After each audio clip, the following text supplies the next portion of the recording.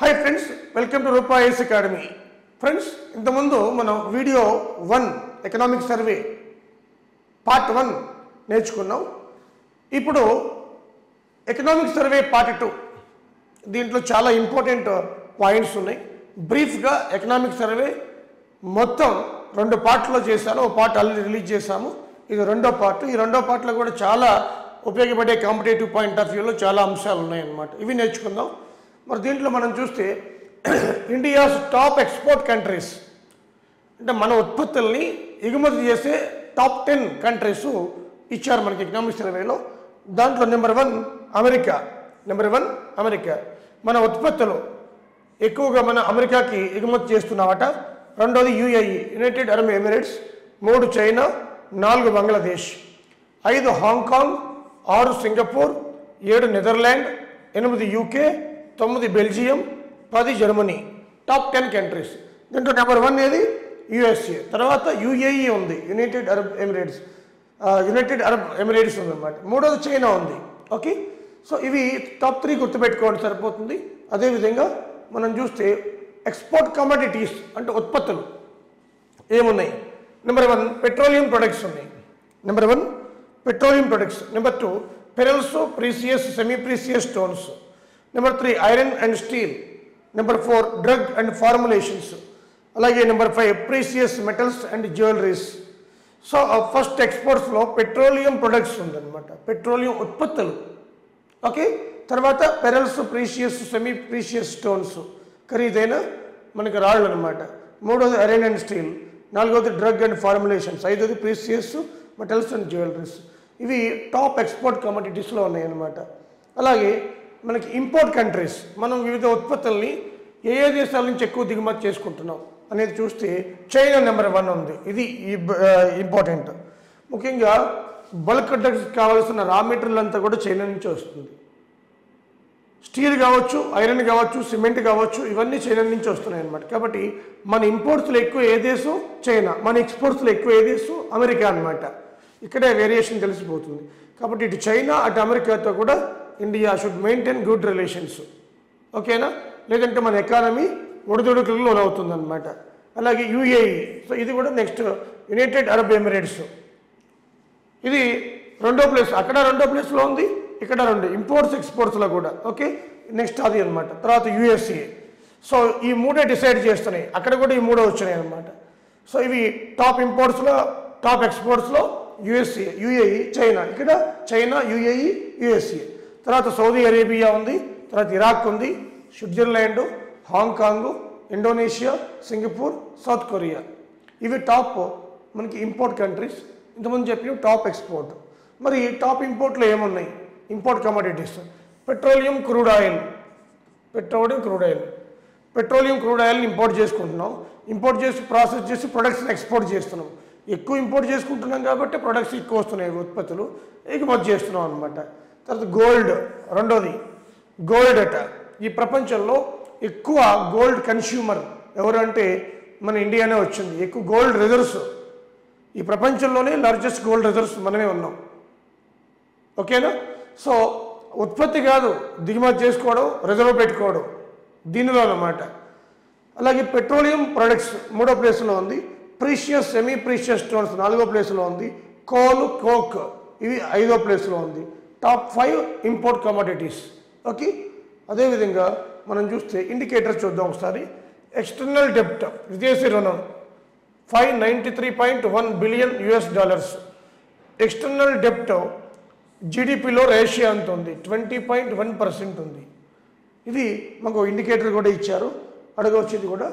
అలాగే agricultural exports ఎక్స్పోర్ట్స్లో వ్యవసాయ exports చూస్తే marine products rice spices sugar. ఇవి అంటే వ్యవసాయ ఎక్స్పోర్ట్స్లో ఎక్కువ ఏమున్నాయి అంటాడు? మెరైన్ ప్రొడక్ట్స్ ఉన్నాయి. తర్వాత రైస్ స్పైసెస్ షుగర్ ఆ తర్వాత బాస్మతి రైస్ రైస్ అంటే అదర్ దాన్ బాస్మతి అనమాట ఓకే అలాగే buffalo meat buffalo meat buffalo meat so marine products first ఉంది. Rice spices sugar buffalo meat కూడా ఎక్స్పోర్ట్ చేస్తుంది. ఫిఫ్త్ ప్లేస్లో ఉంది. ఫస్ట్ మెరైన్ ప్రొడక్ట్స్ ఓకే అదేవిధంగా ఎఫ్డిఏ ఇన్ఫ్లో అంటే ఫారెన్ డైరెక్ట్ ఇన్వెస్ట్మెంట్ దీన్ని గ్రీన్ ఇన్వెస్ట్మెంట్ అంటాం. Green investments. దీనివల్ల ఉపాధి కలుగుతుంది మనకు ట్యాక్స్ కడతారు వాళ్ళు వాళ్ళు లాభాలు ఆర్జిస్తారు. కాబట్టి దీన్ని foreign direct investment green investment అంటాం. ముఖ్యంగా దేంట్లో వస్తుందట ఇన్ఫ్లో ఎక్కువగా కంప్యూటర్ సాఫ్ట్వేర్ అండ్ హార్డ్వేర్ కంపెనీస్లోకి వస్తుందట. అంటే మన ఇండియాలో విదేశీయులు ప్రత్యక్ష పెట్టుబడులు పెడుతున్నారు. ఎక్కువ ఏ రంగంలో పెడుతున్నారట? Software computer software and hardware. అలాగే రెండోది దేంట్లో పెడుతున్నారట హార్డ్వేర్. మూడోది సర్వీస్ సెక్టార్. అంటే బ్యాంకింగ్ నాన్ బ్యాంకింగ్ దాంట్లో అనమాట నాలుగోది ట్రేడ్ ట్రేడింగ్. ఐదోది టెలికా కమ్యూనికేషన్స్. సో ఈ ఐదింట్లో టాప్ మోస్ట్ ఇన్వెస్ట్మెంట్స్ వస్తున్నాయి అనమాట ఇండియాకి. ఇండియా ఎఫ్డిఐని ఏ రంగం ఎక్కువ ఆకర్షిస్తుంది అని అడుగుతాడు. ఇది కంప్యూటర్ సాఫ్ట్వేర్ అండ్ హార్డ్వేర్ అనమాట రెండోది ఆటోమొబైల్. ఈ రెండు ఫస్ట్ సెకండ్ ప్లేస్లో ఉన్నాయి. మరి ఎక్కువగా టాప్ ఇన్వెస్ట్ కంట్రీస్ ఎవరు? ఎక్కువ పెట్టేది సింగపూర్. గవర్నమెంట్ ప్రజెంట్ లెక్కల ప్రకారం మన ఇండియాలో ఎక్కువ పెట్టుబడి పెట్టేది ఇన్వెస్ట్మెంట్ సింగపూర్ పెడుతుందట. రెండోది అమెరికా మూడోది మారిషస్ నాలుగోది నెదర్లాండ్ ఐదోది జపాన్. మన ఇండియాలో టాప్ మోస్ట్ పెట్టుబడి పెట్టే కంట్రీలు అనమాట ఫస్ట్ ప్లేస్లో సింగపూర్ ఉంది. ఓకే? అదేవిధంగా ఇన్సూరెన్స్ సెక్టార్ తీసుకుందాం. ఈ insurance sector penetration two point seven percent two thousand one వందలో రెండు పాయింట్ ఎయిట్ వన్ చేసేవాళ్ళట. రెండు వేల ఇరవై ఫోర్ పాయింట్ టూ పర్సెంట్కి పెరిగింది. అలాగే life insurance penetration three point two percent two thousand ట్వంటీకి నాన్ లైఫ్ ఇన్సూరెన్స్ వన్ పర్సెంటే టూ థౌజండ్ ట్వంటీ అంటే లైఫ్ ఇన్సూరెన్స్ ఇప్పుడు వందలో మూడు పాయింట్ రెండు మందికి ఇన్సూరెన్స్ ఉంది పెనిట్రేషన్ ఉందన్నమాట. ఓకేనా? సో ఇది మనకి ఇన్సూరెన్స్ సెక్టర్ గురించి. అదేవిధంగా life insurance density fifty nine non life అయితే నైంటీనే అదేవిధంగా globally insurance penetration three point three percent life four point one percent non life. మన ఇండియాలో లైఫ్ పెనిట్రేషన్ ఎక్కువ నాన్ లైఫ్ తక్కువ. వరల్డ్లో నాన్ లైఫ్ ఎక్కువ లైఫ్ తక్కువ అనమాట ఇది కాన్సెప్ట్. ఓకే? అదేవిధంగా టోటల్ డెన్సిటీ ఇండియా ఈ యొక్క ఇన్సూరెన్స్ డెన్సిటీ సెవెంటీ ఎయిట్. అదేవిధంగా అమెరికా ఎక్కువ ఉంటుంది అనమాట వరల్డ్లో ఇన్సూరెన్స్ డెన్సిటీ ఎక్కువ ఉన్న కంట్రీ ఏదంటే అమెరికా. అలాగే రెండు వేల ఇరవై ఈ రెండు వేల ఇరవైకి సంబంధించి పెనిట్రేషన్ ఎక్కువ ఉన్న దేశము డెన్సిటీ కూడా ఎక్కువ America twelve percent. Instant insurance penetration insurance density కూడా. వరల్డ్లో ఇన్సూరెన్స్ పెనిట్రేషన్ ఇన్సూరెన్స్ డెన్సిటీ ఎక్కువ ఉన్న దేశం ఏదంటే మనకి అమెరికా. ఇక్కడ ఇన్సూరెన్స్ పెనిట్రేషన్ ట్వెల్వ్ పర్సెంట్. మన India four point two percent. So ఇక్కడ ట్వెల్వ్ పర్సెంట్. మనకంటే మూడు రెట్లు ఎక్కువ ఉంది. Canada eight point seven percent. Brazil four point one percent. ఓకేనా? మనకి ఇక్కడ ఇక్కడ చూడండి. Asia పసిఫిక్లో China four point five India four point two percent Japan eight eight percent. అదే సౌత్ కొరియా కూడా ఉంది. అది సెవెంటీన్ పర్సెంట్ పైన ఉంది. ఎక్కువ అది తైవాన్ తైవాన్ కూడా. తైవాన్ సౌత్ కొరియా ఎక్కువ ఉన్నాయన్నమాట. ఓకేనా? So China India almost all పాయింట్లో తేడా వస్తుంది. ఇన్సూరెన్స్ పెనిట్రేషన్ ఇదంతా కూడా. ఓకే? ఇది ఇన్సూరెన్స్ సెక్టార్ గురించి. ఎందుకంటే ఎల్ఐసి ప్రైవేట్ పరం చేస్తున్నారు కాబట్టి ఇవన్నీ న్యూస్లోకి వచ్చి. Sustainable development and climate change. దీని మీద ఏం చెప్పారు? ఇండియా అట ఫారెస్ట్లో టెన్త్ ర్యాంక్ అంట వరల్డ్లో టిల్ టూ థౌజండ్ ట్వంటీకి. అదేవిధంగా టూ థౌజండ్ టెన్ ట్వంటీలో ఇంక్రీజింగ్ ఫారెస్ట్ కంట్రీస్లో మనకి థర్డ్ ర్యాంక్ అంట ఇండియా. ఫారెస్ట్ పెరుగుదలలో మూడవ ర్యాంక్ అట. వరల్డ్ ఫారెస్ట్లో టెన్త్ ర్యాంక్ అట ఓవరాల్గా ఇండియా. అలాగే two percent world forest in India. వరల్డ్లో ఫారెస్ట్లో టూ పర్సెంట్ ఫారెస్ట్ అంతా ఇండియాలో ఉందట. టూ థౌజండ్ లెవెన్ ట్వంటీ వన్కి ఈ టెన్ ఇయర్స్లో త్రీ పర్సెంట్ ఫారెస్ట్ పెరిగిందట. టెన్ ఇయర్స్లో పెరిగిన ఫారెస్ట్ ఇండియాలో త్రీ పర్సెంట్ అట. ఇండియా ఫారెస్ట్ వరల్డ్ ఫారెస్ట్లో టూ పర్సెంట్ ఉందట. ఇండియా ఫారెస్ట్ ర్యాంక్ అంటే టెన్త్ ర్యాంక్ అంటే వరల్డ్లో. ఓకేనా? సో అదేవిధంగా మనకి ఇంకోటి ఏంటంటే ఈ క్లైమేట్లో గంగా నది వెంబడి రెండు వేల పదిహేడులో three forty nine point one three million litres per day pollution ఉత్పత్తి అయ్యేది. అది తగ్గిందట. టూ థౌజండ్ ట్వంటీకి two eighty point two zero million litres per day తగ్గిందట. అంటే పొల్యూషన్ తగ్గే కార్యక్రమాలు కూడా చేస్తున్నామని ఈ సర్వేలో చెప్పారు. అలాగే నేషనల్లీ డిటర్మైన్డ్ కాంట్రిబ్యూషన్ రెండు వేల పదిహేనులో ప్యారిస్ అగ్రిమెంట్లో మోడీ గారు ప్రామిస్ చేశారనమాట రెండు వేల ముప్పైకి అంతా కూడా మేము ఎమిషన్ రెడ్యూస్ చేస్తామని. దాంట్లో భాగంగా కాప్ ట్వంటీ సిక్స్ గ్లాస్కో యూకేలో జరిగిన సమావేశానికి వెళ్ళారు. రెండు వేల ముప్పై టార్గెట్గా కూడా పెట్టుకున్నాం మనం అనమాట సో అది కూడా దీంట్లో మెన్షన్ చేశారు. అలాగే India leadership in international solar alliance ఇది గురుగావ్లో ఉంది హెడ్ క్వార్టరు గురుగావ్ గురుగావ్లో హర్యానా ఉంది. అలాగే coalition for disaster resilient infrastructure దీన్ని ఏర్పాటు చేసాం ఇండియా కూడా ఏర్పాటు చేసింది సిడిఆర్ఐని coalition for disaster resilient infrastructure వీటిని సజెస్ట్ చేసి లీడర్గా ఉన్నది మనమే అనమాట వరల్డ్లో అదేవిధంగా నీతి ఆయోగ్ సస్టైనబుల్ డెవలప్మెంట్ గోల్స్ రెండు వేల ఇరవై ఇరవై ఒకటి. దీంట్లో ఇండియాకి వరల్డ్లో అరవై ఆరో ప్లేస్ ర్యాంక్ వచ్చింది అరవై ఆరు మార్కులు వచ్చాయన్నమాట. సిక్స్టీ సిక్స్ మార్క్స్ వస్తే మనకి ఇండియాలో ఇది అంటే వరల్డ్ సస్టైనబుల్ డెవలప్మెంట్ గోల్స్ మనం చూస్తే సెవెంటీన్ ఆ గోల్స్ని స్టేట్స్లో సబ్ గోల్స్గా ఏర్పాటు చేస్తున్న ఏకైక దేశం ఈ ప్రపంచంలో మనమే. ఇంకే దేశం లేదు. దాంట్లో మనం కేరళ సెవెంటీ ఫైవ్ మార్క్స్ వచ్చాయి for the year twenty twenty వన్కి Tamil Nadu seventy four Himachal Pradesh seventy four AP seventy two marks వచ్చాయి. అయితే స్టేట్స్ వైజ్ తీసుకుంటే ఫోర్త్ ర్యాంకు ఈ రెండు సేమ్ ర్యాంక్ కలిపి కలిపి ఒక ర్యాంక్గా తీసుకుంటే థర్డ్ ప్లేస్ వస్తుంది. కానీ గవర్నమెంట్ ఫోర్త్ ప్లేస్ అని ఇచ్చింది అనమాట ఓకేనా సీరియల్ చూడండి ఫోర్త్ ప్లేస్. ఈ రెండు సేమ్ మార్క్స్ వచ్చినాయి కూడా. ఇక్కడ కూడా సేమ్ మార్క్స్ వచ్చాయి. యూకేకి సెవెంటీ టూ మరి ఫిఫ్త్ ప్లేస్లోకి వెళ్ళింది. గోవాకి కూడా సెవెంటీ టూ సిక్స్త్ ప్లేస్లోకి వెళ్ళింది. ఓకేనా? మరి ఏపీ రీ- ఫోర్త్ ర్యాంక్లో ఉంది. అలాగే బీహార్ లీస్ట్లో ఉంది ఫిఫ్టీ టూ. జార్ఖండ్ దాని తర్వాత ఉంది fifty six. Assam fifty seven. So sustainable development ఇండెక్స్లో మనకి కేరళ అదేవిధంగా టాప్లో ఉంది. బీహార్ లీస్ట్లో ఉందన్నమాట. ఓకే? అది యూటీస్ తీసుకుంటే మనకి చండీగఢ్ సెవెంటీ నైన్ మార్క్స్ వచ్చాయి. తర్వాత పుదుచ్చేరి అరవై ఎనిమిది లక్షద్వీప్ అరవై ఎనిమిది ఢిల్లీ అరవై ఎనిమిది. దాద్రా నగర్ హవేలీ లీస్ట్లో ఉంది. సో కేంద్రపాలిత ప్రాంతాల్లో చండీగఢ్ ఎక్కువ దాద్రా నగర్ హవేలీ తక్కువ. రాష్ట్రాల్లో బీహార్ తక్కువ కేరళ ఎక్కువ అనమాట ఓకే? సో అదేవిధంగా మనం చూస్తే పెర్ఫార్మెన్స్లో ముఖ్యంగా ఎస్డిసి ఫోర్టీన్ అంటే లైఫ్ బిలో వాటర్లో కోస్టల్ స్టేట్స్ కిందకి వస్తాయి. హై పెర్ఫార్మెన్స్ ఒడిశా రెండో ప్లేస్ ఏపీ లీస్ట్లో తమిళనాడు ఉందన్నమాట. లీస్ట్లో అంటే కోస్టల్ స్టేట్స్ పెర్ఫార్మెన్స్లో సస్టైనబుల్ డెవలప్మెంట్ గోల్ ఫోర్టీన్లో హై ప్లేస్ ఏముంది? High high growth Odisha least Tamil Nadu ఉందన్నమాట. ఇది మెన్షన్ చేశారు. అలాగే ఫారెస్ట్ అండ్ ఎన్విరాన్మెంట్లో చూస్తే మనకి ఇక్కడ రష్యా వరల్డ్లో మనకి ఎక్కువ ఫారెస్ట్ వరల్డ్లో లార్జెస్ట్ ఫారెస్ట్ ఉన్న దేశం ఏదంటే రష్యా.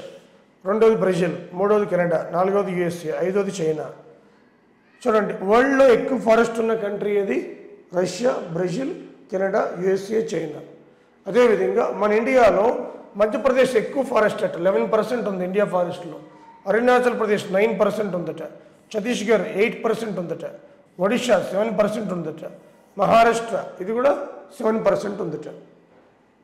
అంటే పాయింట్లో ఉంటుంది ఒడిషా తర్వాత మహారాష్ట్ర. సో ఇవి ఈ ఎకనామిక్ సర్వేలో ఇవ్వడం జరిగిందనమాట ఎంత పర్సెంట్? లార్జెస్ట్ స్టేట్ మధ్యప్రదేశ్ తెలుసు. అది ఎంత పర్సెంటేజ్ సపోర్ట్ చేసింది అనేది చాలా ఇంపార్టెంట్. Eleven percent. ఓకే? వరల్డ్లో రష్యా ఇండియాలో ఎంపీ. ఓకేనా? అదేవిధంగా మనకి వెరీ డెన్స్ ఫారెస్ట్ దట్టమైన అడవులు. పర్సంటేజ్ రేట్ చూస్తే ఆయా జోగ్రఫికల్ ఏరియాలో Mizoram number one Arunachal Pradesh number two Meghalaya number three Manipur number four Nagaland number five. అలా కాకుండా ఓన్లీ ఏరియా వైజ్ చూస్తే అరుణాచల్ ప్రదేశ్ తర్వాత మహారాష్ట్ర తర్వాత ఒడిషా తర్వాత ఛత్తీస్గఢ్ తర్వాత మధ్యప్రదేశ్. ఏరియా వైజ్ అరుణాచల్ ప్రదేశ్ శాతపరంగా వెరీ డెన్స్ ఫారెస్ట్ మిజోరాం. ఓకేనా అదేవిధంగా మనం చూస్తే టూ థౌజండ్ ట్వంటీ వన్ ఈ రిపోర్ట్ ప్రకారము forest report moderately dense forest open forest. ఈ రెండు ఎక్కువ ఉన్న రాష్ట్రం ఏది అంటే మధ్యప్రదేశ్.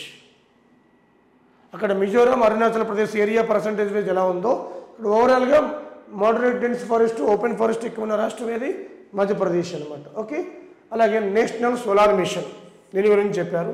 టార్గెట్ రెండు వేల ఇరవై రెండుకి హండ్రెడ్ గిగా అవార్డ్స్ అయితే ఇప్పటికి కెపాసిటీ రెండు వేల ఇరవై ఒకటి డిసెంబర్ థర్టీ ఫస్ట్కి forty nine point three five giga watts ఉత్పత్తి చేశారట. సో అంటే ఫిఫ్టీ పర్సెంట్కి వచ్చాం. ఇంకా ఫిఫ్టీ పర్సెంట్ చేయాలా? అలాగే national mission for green India. అంటే ఇది దేని గురించి? Improved ecosystem services by increasing forest and tree cover five million hectares and other quality of forest five million. Total ten million hectares ఈ స్కీమ్ ద్వారా మనకి ఈ ఫారెస్ట్ని పెంచాలన్నమాట. ఓకే? అది national mission for green India అంటే. ఓకే? టెన్ మిలియన్ హెక్టార్లు ఫారెస్ట్ని పెంచడం. అలాగే అగ్రికల్చర్ ఇండెక్స్ ఇచ్చారు. దీంట్లో మనకి two thousand twenty one twenty two GVA eighteen point eight percent ఇంతకుముందు కూడా చెప్పాను. అలాగే టూ థౌజండ్ ట్వంటీ ట్వంటీ వన్లో త్రీ పర్సెంట్ గ్రోత్ రేట్ అయితే ట్వంటీ వన్ ట్వంటీ టూలో three point nine percent growth rate అంటే అగ్రికల్చరల్ గ్రోత్ రేట్ అనేది ఎక్కువ ఉందన్నమాట. అంటే గత ఇయర్తో కంపేర్ చేసుకుంటే పెరుగుతుంది. ఇంత కోవిడ్లో కూడా. అలాగే twenty twenty one food production three not eight point six five million tonnes three not eight bumper stocks వచ్చాయి. Three three not eight point six five million tonnes అనమాట edible ఆయిల్స్లో world second largest consumer India అంటే వినియోగంలో. అలాగే world number one in edible ఆయిల్స్లోని importer of veg vegetable oils edible oil అన్నా vegetables oil అన్నా ఒకటే almost all. So వరల్డ్లో కన్స్యూమర్లో second place ఇంపోర్ట్లో ఫస్ట్ ప్లేస్ అనమాట అందుకని ఈ బడ్జెట్లో కూడా ఆయిల్ ప్రొడక్షన్ పెంచాలని నిర్మలా సీతారామన్ చెప్పారు. అలాగే కొన్ని మనకి తైలాలు కూడా ఇచ్చారు. అంటే అర్థం ఏంటి ఎంకరేజ్ చేయడానికి కొన్ని ఇన్సెంటివ్స్ కూడా ఇవ్వడం జరిగిందనమాట అలాగే షుగర్ లార్జెస్ట్ కన్స్యూమర్ వరల్డ్లో ఇండియానే.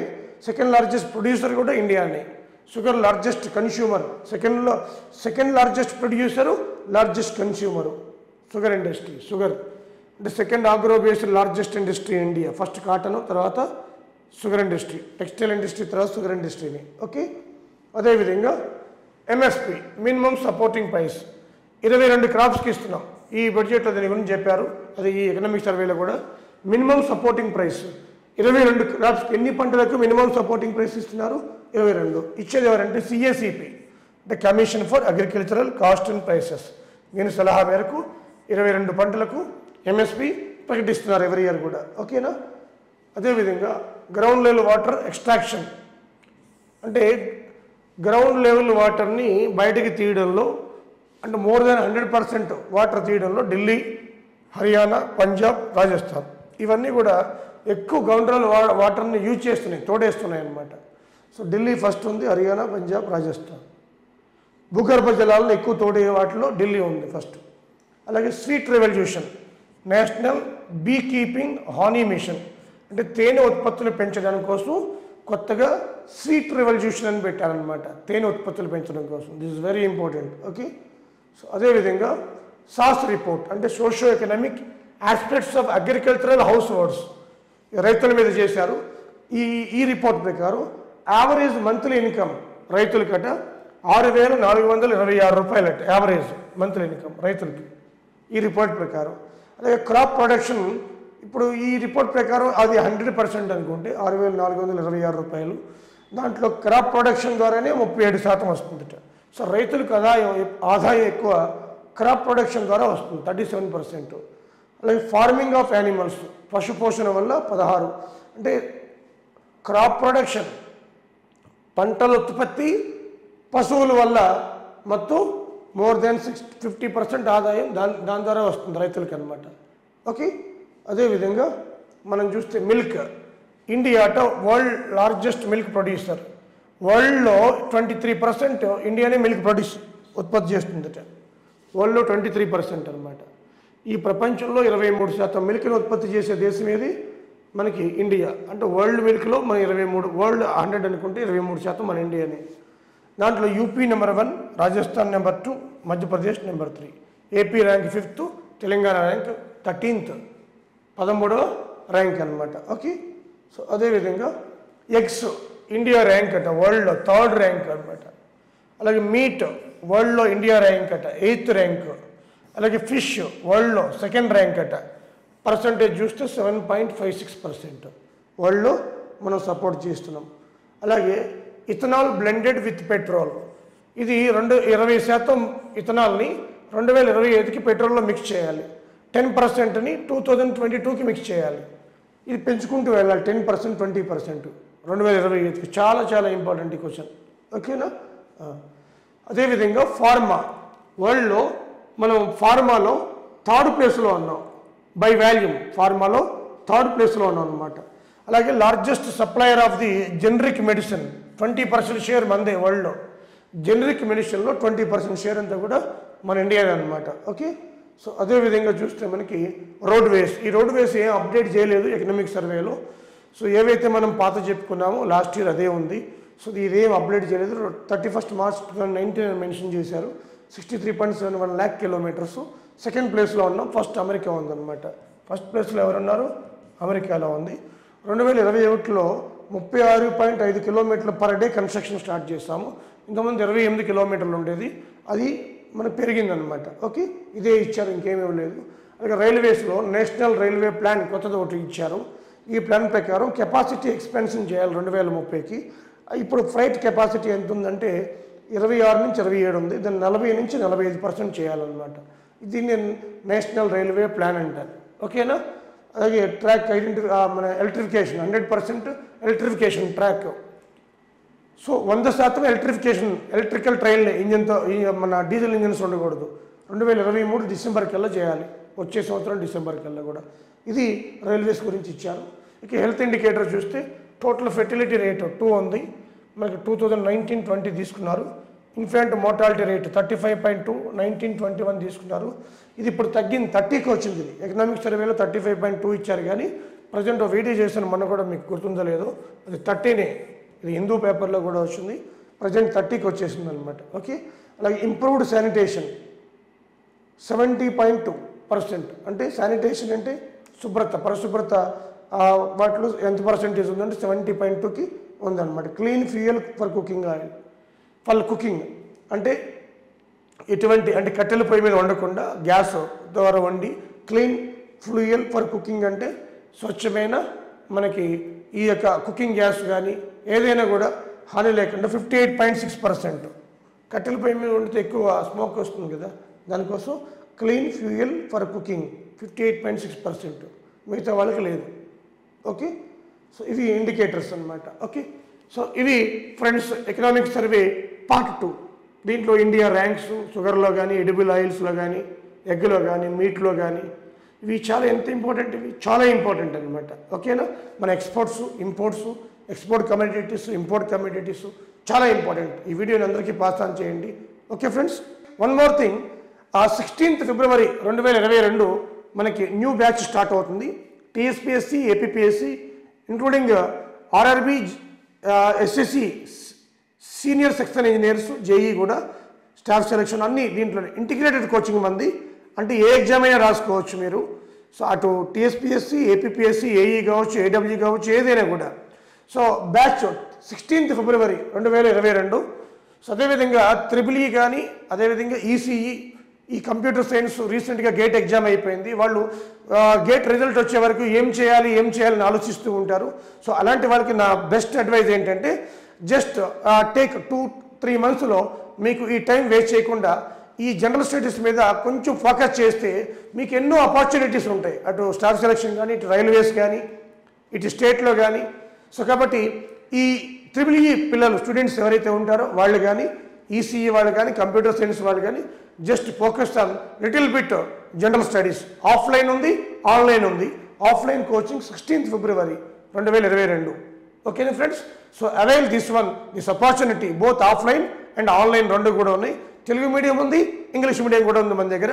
So low price best quality okay friends so thank you thank you very much